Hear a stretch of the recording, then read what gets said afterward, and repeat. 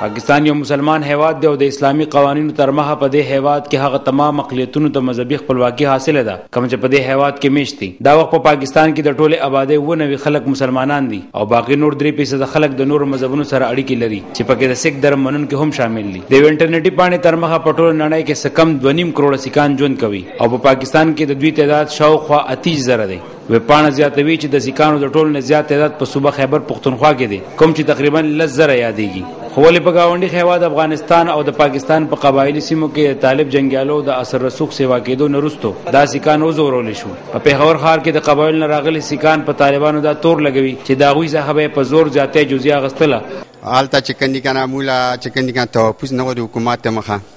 حالات خراب شو هغه واجه نه مو چې کندي متاثرین شو او هغه واجه نه مو دلته راغلو مو په کې جوړ کپړو کې راغلیو کور ویران شوی ری شپورس کمرې ویرې مو په کور کې اټول چې کندي کنه ویخت کې نو پته ټول ختم شوی ری تیز به تیز کورونه هغه نه مو راغلیو او تر اوسه پورې د پاکستان ګورنمنت طرف نه زمونږ له هیڅ قسم ته امداد ملاو نشو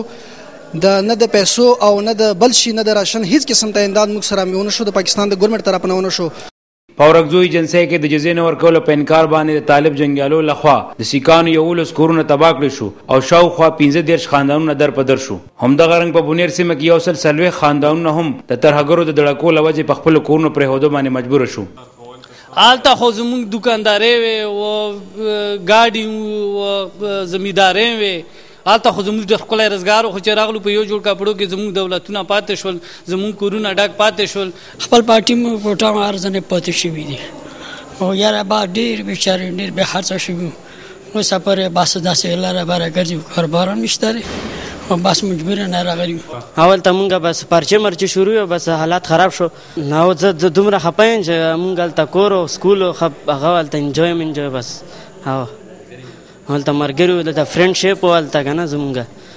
د سیک درملونکو سره زور زیاتې یوازې په پاکستان کې نه بلکې په ګاونډي هیواد هند کې هم کیږي د یو انټرنیټي پاڼې لخوا په تیرو څوارلسو کالو کې تقریبا دوه لکه او پنځوس زره سیکان زورول شوي دي ویبپاڼه زیاتوي چې په کال نولس سوه څلور اتیا کې د سیکانو د عبادت په ځایونو د یرغل له امله شل زره سیکان قتل او اته دېرش ګردوارۍ تباه کړې شوې یادونه ورده چې دا وخت په پاکستان کې د سکانو د غټو ګردوارو شمیره یو سل درې دیرسته د قبایلی سیمو نه راغلي په ملک دنه آباد نور سکان دا غوښتنه کوي چې هغه سره د اسلام د احکاماتو مطابق معاملې وکړي شي جبران بنيري خیبر نیوز پیښور